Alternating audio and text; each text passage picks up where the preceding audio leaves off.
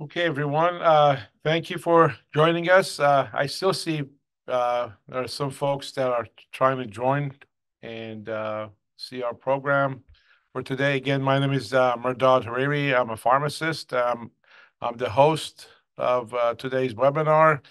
Today we have an exciting program. Uh, we'll have uh, Mike Shorey. He is uh, with Shorecat Medical and he's going to be discussing the 503A and B and how these type of programs are able to help your practice gain access to needed medications such as semaglutide that you can help your patients um, gain access to it. He's got a PowerPoint in here that uh, uh, pretty informative. Uh, keep in mind that at any time, if you have any question, you can always call us at 888-442-8348 and we'll be able to answer any questions you may have about any of the programs that we offer at RxConnexion that can help your pharmacy or your practice.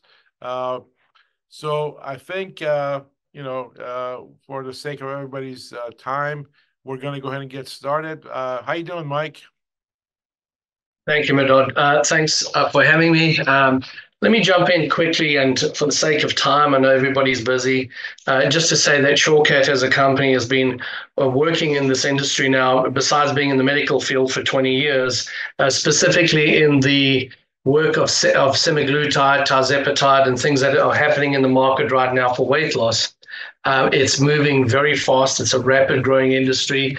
And uh, we're thankful that we're at the forefront of this. And what I'm going to bring to everybody today is most importantly, uh, before anybody moves ahead in this industry, you've got to understand what you're doing uh, in terms of the law, and also more importantly, that you're buying product that is of the highest grade possible, pharmaceutical grade product, because there are industries, organizations out there that are, you know, selling product that I do not believe is at the level that it should be at. Uh, you're finding other ingredients in it. You're finding products that are from a salt form that gets brought in. FDA is dealing with that. So there's a real uh, mechanism and structure that has been, in, been put in place. And when you break it down to the absolutes, you actually find that there's very few real players in the industry. So I'm just going to jump ahead and uh, talk quickly about a 503B and a 503A it's not like I think you don't know this. I think you know it. But really, at the end of the day, if you go to 10,000 foot, uh, the bottom line is a 503A is not an FDA regulated facility. And an FDA regulated facility has to cover a whole lot of different stringent um, mechanisms to be able to have that right, uh, to be able to provide product in bulk. And more importantly, a 503B is, according to the FDA, the only organization that's allowed to provide bulk semaglutide or tirzepatide. A 503A should only be scripting the product. Uh, so I say that because it's important. There's a lot of confusion in the marketplace where industries and organizations are getting involved. Uh, a lot of the rules are being bended, and that's why some of the state boards are stepping in now and saying, We're not happy with this, we're not happy with that. Uh, but clearly, when you look at the breakdown in front of you, it, to me, it is a night and day situation when it comes to the manufacturing, or rather the compounding, let me say, which is a better word, um, of the actual semaglutide product.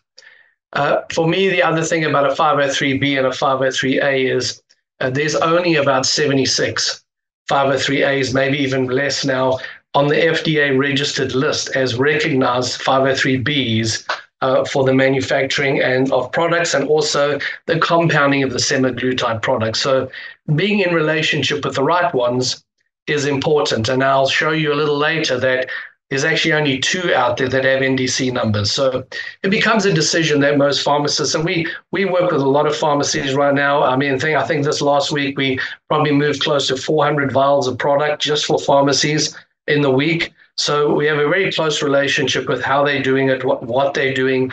And it comes down to the fact that uh, why we are working closely with those is they want pharmaceutical grade product because it's important to them. It's not just about chasing after price. And yes, you can find price out there which is cheaper, but it's not apples for apples, in my opinion. So let me jump ahead here. So, what is the product at hand? Uh, for those of you who don't know, really, there's two products, obviously semaglutide and tirzepatide coming from two different organizations, and these products were in the marketplace for diabetes, and through the process of using it for diabetes, they began to find out that there were obviously weight loss um, aspects to it, which led us to another situation, which is the law. And that law simply stated uh, very clearly that a drug may be prepared by a compounding facility if that drug is in shortage. And it just so happens that both tirzepatide and semaglutide are on the drug shortage list since 2023. Let me just take a step back for a second and say that I'm not making these statements on the basis of they sound good. We have verified these statements with several law firms, and we have gone to the to the largest law firm in the United States with the FDA DEA in Washington, and they have actually checked out the lab, all the lab's paperworks, and from that basis, uh, we've been given a green light to move forward. So therefore, when you look at the drug shortage list, it basically states that a 503B compounder can now take a raw powder API product, and that API product, please let me also stipulate the extreme importance that it comes through an FDA wholesaler and our product does come through our FDA wholesaler. Um, wholesaler. It is compounded, and that product is compounded for sale. A little footnote there that says important note: reselling is not permitted, and I'll explain that in a moment. Another important thing is this is the actual law broken down. It says one of the conditions, this is from the FDA uh, uh, draft, one of the conditions that must be met to qualify for this exemption, which means exemption to actually compound the product, says there that this drug will not be sold or transferred by any other entity than that outstanding outsourcing facility that is compounding such a drug. So very clear that they're saying in the law that the 503B is the only entity that can actually sell and transfer this product uh, in the United States of America at present. But there's a little nuance to it, and it says wholesaling compounded drugs is prohibited, which it is. But it is not deemed wholesaling when an outsourcing facility distributes a drug it compounded, important here, even without obtaining um, a patient script specific to a hospital or health facility, health clinic, or physician's office where it is used as office stock for dispensing. And now, since I'm talking to mostly pharmacists here, right, we know that the next thing is, is critical. Uh, pursuant to prescriptions or to a pharmacy, federal facility, or licensed physician, which subsequently dispenses the drug pursuant to a prescription. So the law basically says that you are able to get a prescription from somebody who walks in with a prescription from a doctor and you can fill that script. Jumping to the compounder, and I said this is important, there's only really two in the United States that I believe are well worth looking at. So the one that we work with, we work with two. The reason I work with two is that both of these labs actually have NDC numbers. Obviously, they do COAs uh, and they have obviously all the right credentials. They FDA facilities, meaning the FDA registered and inspected facilities. So what they bring forward is quality. And if you look at this, they actually the one is particularly owned by actual pharmaceutical company. They were a pharmaceutical company that is actually doing a 503b. So it's about technology, it's about structure, it's about um, having that NDC number that becomes important. Every batch is quarantined and follows FDA guidelines, pharmaceutical grade. Let me re- say this is important, not from the salt form, no acetate. No B12. We don't mix things that way. Uh, the, the only relevance behind this is if B12 is put in because people feel nauseous, we have a peptide that is highly recognized as the better thing to be on as opposed to having the ingredient mixed into the actual into the vial. Just want to talk about not from salt form. The FDA has made some statements that they found people bringing product in. The two issues are they bring product product in and it's a salt form semaglutide. That is highly rejected. Some of the 503As out there are still working with this product. And uh, you know, I'm finding that a lot of that product, for some reasons, ending up into med spas. Uh, why I don't know, but that's where it goes. It's a lot cheaper, but it's not a good product. The other thing about this is that when we talk about no salt form, is that when it comes in, going through the FDA wholesaler means it gets its COA, it's checked there for import uh, COA, and then when it gets to us, it goes to obviously the next process with a 503B, and then it gets a new COA for the manufacturing and makeup of that product. But it's a very clean pharmaceutical grade product. The beyond use date is 180 days. So once you have it, 180 days, no problem with COA, NDC, and just about everything we do is shipping in 24 to 48 hours. I presently have about 100,000 vials in stock, which could be moved at any time. So who can buy from a 503B? Let's have a look at this. Let's go through the tr- the, the actual vehicle that comes in from in, from outside into the USA. As I said, through the FDA wholesaler, gets the 503B here at the bottom. They make a finished product and that gets moved over. 503A compounders and healthcare facilities, including pharmacies, can purchase from a 503B for dispensing to patients. In a nutshell, typically what happens is a 503B buys in bulk, makes in bulk, and sell in bulk. Uh, the smallest we sell is 10, 10 vials per box. That's the MOQ. We can go up to bigger. We can have a 10, 10 milligram by 4 ml for people that want to actually do in, in-house um, administration. And then we also have the vials, obviously, for somebody to take home and do self-administration. And But if you look at that, 503A hospitals, med spas, doctors' offices, and you, the pharmacies. So long as you have an NPI number, you're good. You can buy this product. And you and just so you know, you buy it directly from the actual lab. Uh, the, our part and process of this is marketing facilitation of what's happening. But all transactions, and it's another important thing for me to say to you, when you realize that somebody else is involved doing the transaction and actually carrying the funds and things like that, we have a small problem deals have to be done by law between the actual manufacturer and the buyer, which is yourself. There I have it again. Product cannot be resold. Just reiterate that once you have the product, you can script it, but you cannot resell it. Basic understanding of ordering for us here is quite simple, really. All can advertise that your pharmacy can fill semaglutide. It doesn't matter where the advertising comes from. It could be in-house. We can help you with that. It could be working with local doctors and spas and things like that to say, I have this product, you can send patients to me. But anyone asking you, their doctor or clinic, to lose weight need only bring you the script and you'll be able to fill that script.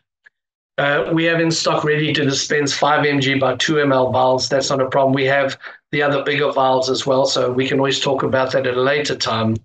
And uh, a single vial right now with RxConnexion is cost costs $150 and the typical dispensing of all the pharmacies we're working with now, which is quite a lot, they're dispensing out of 300 to four hundred dollars uh, per per um, per vial. Type of program, I just want you to see clearly it's not up to the pharmacist to decide the regiment.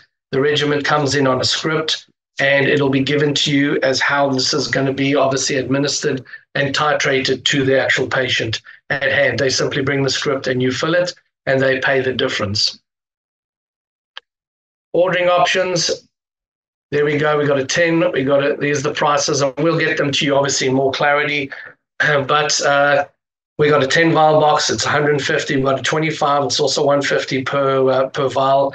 And then we've got a 10 vial, and, and um, we have the, another one which is a 20 meg um, product. So 10, 5, 5, and 10. Sorry, 10, 5, 5, and 20 is readily available at any time from a marketing standpoint, obviously Mehrdad has, you know, the perfect marketing plan, but I'll tell you just to show you marketing materials. Uh, we'll see in a second, but please, marketing rules do apply. I've just got another letter from the attorneys to say there's certain things you can say, certain things you cannot say. This is not Ozempic. It's not a diabetic drug. It's not a generic equal. It's it's not that at all. It's a semaglutide compounded product that gets used for weight loss, and it is is moving very fast in the market. Um, do not use the word obviously for sale or for office use. It's not something we do, and we do not guarantee results. Clearly, we can't. It's not a clinical trial drug. More importantly, don't say semaglutide comes from the same factory as Novo Nordisk. If you were to know if there was any, because there has been some lawsuits from Novo into with people, almost 90% of those lawsuits has to do with false claims of marketing. It has nothing to do with product. Um, product was fine. People were saying all the wrong things. From there's marketing available. We can always send that to you. As you can see, we have raw API that we can sell as well. So if you want to actually uh, compound yourself, we can provide it. I don't believe we people can beat our price at this moment. We have obviously network um, pharmacy do- um, flyers. We have individual flyers. All of this can be made up, and naturally, you can also get that from Mehrdad.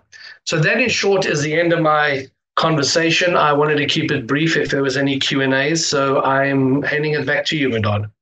Okay. Anytime anyone has any questions, please just uh, go ahead and put that in the chat, and we'll be able to answer those questions for you, as many as uh, we get.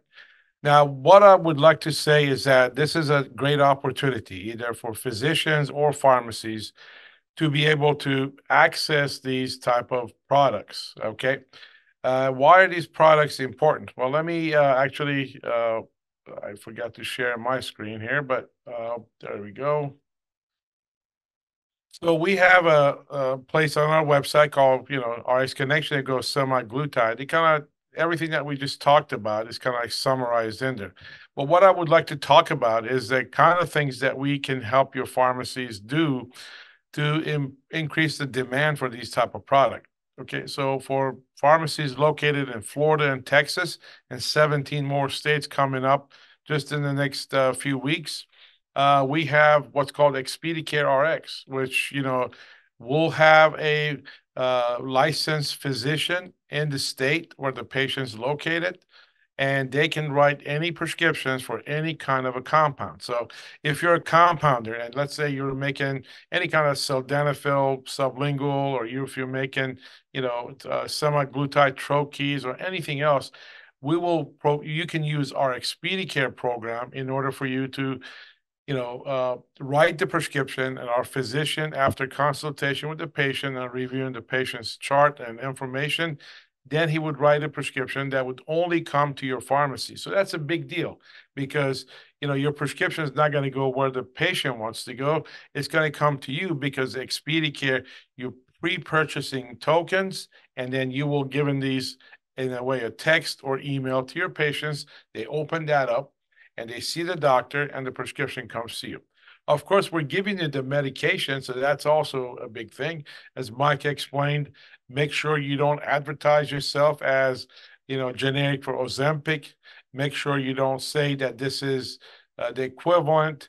Uh, don't be using those kind of terminology. Just say it's semaglutide, uh, you know, 5 milligram per 2 ml, and it could be used for anything. And if you have, let's say, doctors that are having a hard time, you know, uh, prescribing Ozempic because um, they can't, the patient can't get them, you can always call the office and ask them and tell them about what you have in stock. And if they'd like to, you know, prescribe the semaglutide the way we have it, that would be their option. Keep in mind that do not bill insurance companies for these things. And the reason we say this is that every time it has an NDC number, and you're most likely gonna get a rejected claim. These rejected claims saying, "Drug not covered, can't find NDC," or something in that line.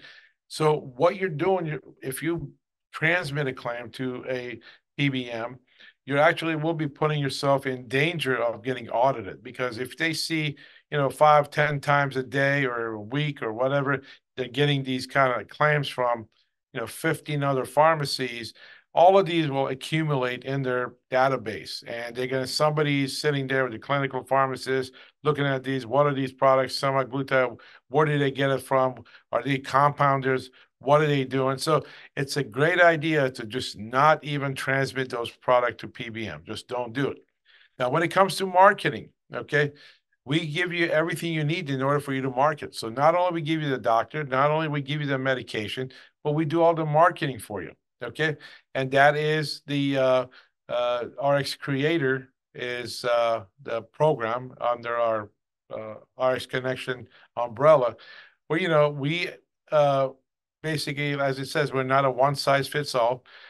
We will put your posts, we can post things on your Facebook, Instagram, TikTok. We give you a YouTube channel if you do a Rx podcast with us. So we also create podcasts, and podcasting could be a great way for you to reach your audience. And uh, you can see examples of these uh, uh, pharmacies that are doing podcasts with us right on our homepage. Now, podcasting could be a powerful tool. Why? Because, you know, if you do a weekly podcast, and you can talk about not just semaglutide, just talk about all all the other stuff, everything you do in your pharmacy.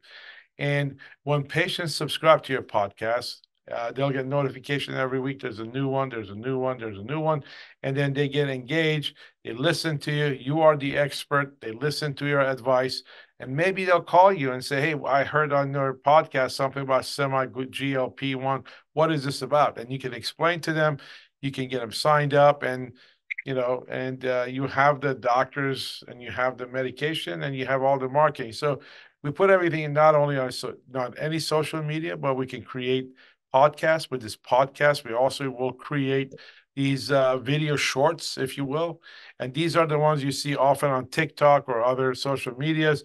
But it's just a five or ten second video that says, oh, uh, I'm on, I just lost 10 to 25 pounds or something like that. And it gets a uh, audience's attention. And then when you click on it, it takes you to the site, which will be your site, your website, your uh, page about talking about semaglutide and then hopefully they will again click and they get engaged and you can call them and talk to them about your product your services and everything else. Uh, I, we were at the ncpa uh, uh, multi-location conference last week. Uh, we just got back on sunday and i spoke to a pharmacy owner and i just could not believe how much they have done of the semaglutide. And i didn't i didn't realize the extent of what they were doing but but he told me that they do 300 of these per month. I mean, 300 semaglutide per month. Uh, that's huge, you know. And when he told me everything that he does, and we told him everything that we do, he actually today he signed up on the podcasting thing and everything else because he sees how he can really uh, increase that number maybe from 300 to 500, you know, easily in his town. So uh, keep in mind, we're here to support you. We're here to help you, uh, you know, give you all the resources that uh, we've got. And that's through engagement tools, insight, telehealth, the supply chain, and marketing. And we have extensive knowledge about marketing and everything else. And if you ever want to uh, talk to us, just go to our homepage and schedule a call right in here. And also you can watch the video. We have a couple of nice videos that talks about all the services that we have and the semaglutide things and marketing and things like that. And you can actually be looking at that. So, um, Mike, do you see any uh, uh, questions? I don't see any questions. Okay, no, one question I, up. I can just say one thing, um, you know, in terms of, what's happening to other pharmacies. Um, it takes a while to get the actual true metrics, but we have them now, and that is an average. On average, a pharmacy is moving uh, anything between ten and twelve vials per week. So it gives you an idea that you know if you just take one box and you're looking at the numbers you're making it's about it's about a profit margin for a pharmacy of about $2500 a week and given what's the norm and the trends out there. Uh, so you know it, it's very very obvious that if you have a bigger pharmacy you've got a lot of traction you're doing your marketing and you're working with uh, you know your town and people know about it they are going to come in and ask and um, to you know to be doing three to four thousand dollars profit a week uh, on your traffic that you have is not is not it's not an unreasonable thought. Just wanted to that say that. Yeah, that's huge. Mike, I got a question. Somebody asked me, does this product get shipped refrigerated to my store? So uh, the answer to that is yes and no. And uh, the why I say yes and no is the the one organization uh, their product does not have to be shipped, but if you want it, we'll do it. The other organization chooses to ship refrigerated. So for the most part, we would say yes, we'll just refrigerate and ship everything. Okay. Now another question just popped up. I guess I'm not sure if it's the same person, but it's asking me why doesn't this one has to be kept refrigerated?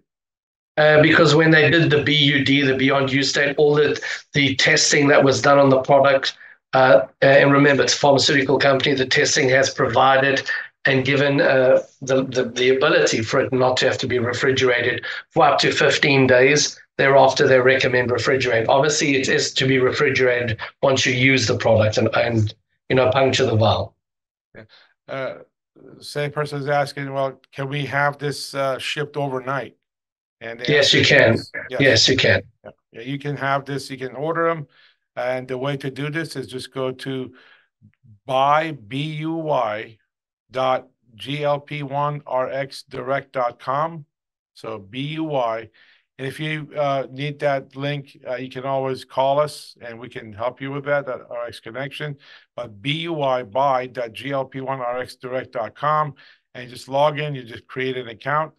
It just takes literally, you know, uh, two minutes. Just put in your NPI number and fill out all the uh, forms in here and just say submit. And then right away you can log in. You can see the uh, products. You can add the quantity, and then you just uh, send your request. It's sent directly to the 503A B facility, and then as soon as they get it, uh, they actually vet uh, your uh, uh, office because you know they check and make sure you do have a valid state and DEA license, and then they get it out to you however you need. Uh, one thing I would like to mention is that, uh, let's say for those stores that are doing their own marketing, on our store tab, okay, we do have also a wealth of uh, marketing assets, okay? These includes flyers, brochures, social media pieces, posters, and you name it. And uh, I'll just show you the one, for example, semaglutide. That's not all we have, but these are just example of like posters that you can put on your window. We also have videos, we have social media posts. So we have a lot of stuff in here for you that you can, it's very easy to get these things. So basically, uh, if you go out to, for example, weight loss in the flyer section, you can see all these flyers, eight and out by 11, basically add it to your cart. If you're a member of uh, RxConnexion, you get 20% off, brings it down to 20 bucks. And you just check out and we customize these for you. You will get it in your mailbox within one hour. Also, social media piece. We have a bunch of beautifully designed social media that if you want to do it yourself, uh, you could do that. So we have all kinds of things, whether it be weight loss, insulin, everything else. And the process is the same. I mean, as little as $5 We'll customize this uh, short video, for example, this one, as you can see. You just click on it. And uh, again, you check out, you purchase, add to cart, purchase, and we'll create this customizer for your pharmacy and we'll send it to your mailbox and you can post it on your social media. Keep in mind, we do post, uh, we do social media marketing. So if you need social media assets to do it yourself, or whether you need social media in order for you to uh, for us to do it for you. We can also do that as well.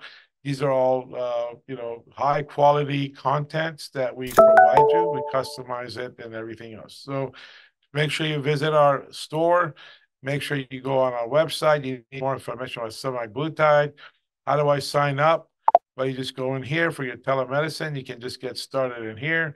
But to, get, request your medication, it takes you to that uh, buy.glp1rx.com here and marketing, it's all right in here. So uh, that's all I have uh, for everyone. I know, uh, Mike, do you have anything else you would like to add?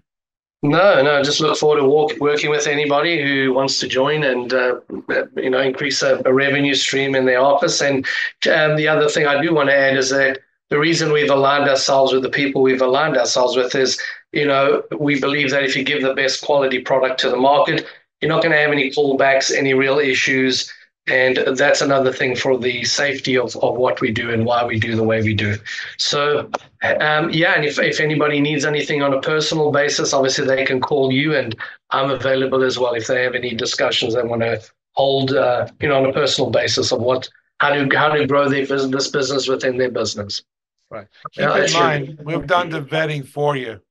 We've done the vet, vetting for you. So basically, We've done all the homework. We've done we've uh, crossed all the T's. We've looked at all the suppliers. We have selected suppliers that are meet our standards.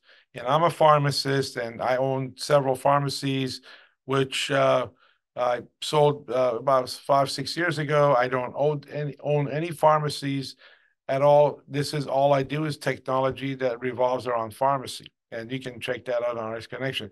So if I don't see any other questions, uh, I think Mike, this is uh, uh, this is all we've got. So okay, uh, we we'll have these webinars again on a weekly basis for the next at least two weeks or so, about the same time. And uh, you can always go to our website and uh, uh, register for the next one. We may be talking about different things for next pod, uh, webinar, so just stay tuned. Okay. All right. Sure thing. is anybody can, uh, uh, is anybody from California? No, we lost that. Nobody. Yeah, we lost Okay. a couple of people, but yeah, we've had people from California that's been asking, calling our office, and they say, "What about California?" Yeah, so at this point in time, uh, the exact law in California and what's happening is the only way we can get product into California, which we can, is if somebody actually provided us with a script and we had a script, we have an organization that can fill scripts anywhere in the United States. So from a, on that personal basis, the product can be sent directly to the patient's house. All right, fantastic. But we are busy with a 503B now, which I believe June it'll be ready for actual, you know, dis- distribution in California. And And it's just in everyone, California. just keep in mind, this is a fantastic opportunity for you. I know with the DIR fees and everything else that you guys face every day and made the uh, pharmacy business unprofitable. This is a great way for you to increase your revenue and uh, you know, uh, you know, build some. Uh, how about Michigan? So I just one question. Somebody said, "How about Michigan?" Uh, we yeah, well, we'll be able to cover that uh, with the two labs, not a problem. Yeah, okay, so Yeah. Michigan is covered, yep. So everyone, uh, if anyone has any more questions, otherwise, uh, we're gonna end this, uh, uh, thing, and we're gonna hope to see you again, uh, next week. You can join us, uh, and, uh, we'll see everyone soon. Thank you, Mike, for being with us. Thank you. and No, look thank you for having me. call. All Thank right. Mike. Talk to you later. Bye bye.